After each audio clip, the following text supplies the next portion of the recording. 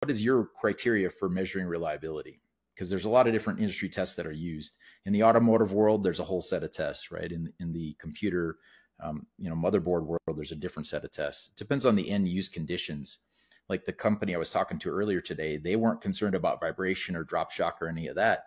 They were concerned about thermal cycling, which is a common industry standard. And but thermal cycling with all these CTE mismatch that we have between the PCB, the solder, the component as well as the die within the component, and they're all growing and shrinking with thermal cycling at different rates. That creates those shear stresses in in the weakest link of that stack up, and a lot of times that's the solder joint.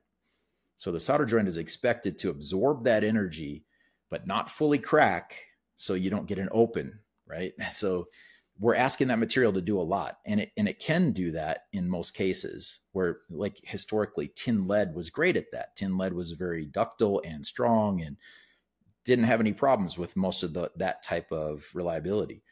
Whereas with all these lead free alloys they all got strengths and weaknesses and there's probably 50 different flavors of lead free alloys and then there's probably 20 different flavors of low temp alloys that are out there depending on what your application is and we keep bringing out new ones because no one perfect alloy exists to fit all applications.